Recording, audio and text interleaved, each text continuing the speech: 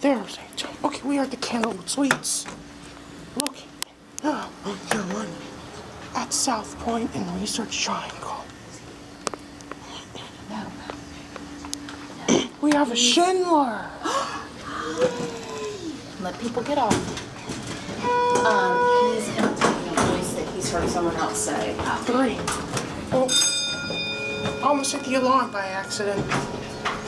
Ryan, see what he's not allowed to push is that with me. Mm-hmm. 2000. Um, the alarm, let's not push that anymore. Uh-uh, let's not push it. Not push it. Somebody stole it, it wasn't me, the Schindler. go.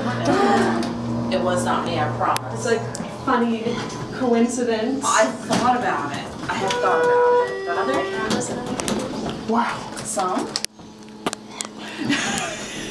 See, door closed should be right there and the Ryan alarm calls should it be Big right Brother. there. It's by accident. Big Brother? Big Brother. Like the There's show? cameras. There's cameras. Big Uh, Brother. Um, because, oh, because the guy he used to watch, or he still watches him, Andrew. Andrew's an adult now. We met him, but he was the first one, and that's who Ryan models